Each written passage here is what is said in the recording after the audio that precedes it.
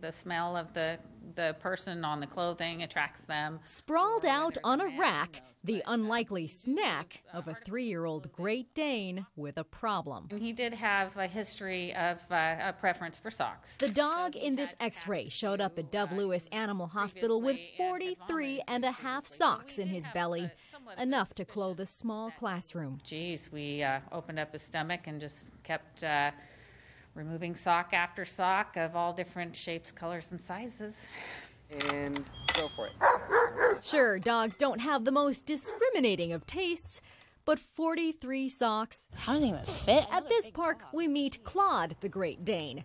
His owner says Claude at least knows when to say when. Kind of. Can you imagine yours doing that? No. He's destroyed a lot of socks. He hasn't eaten any yet. We make sure to close our sock drawer because he would if we let him. I've never, ever taken out uh, that many socks out of one patient before.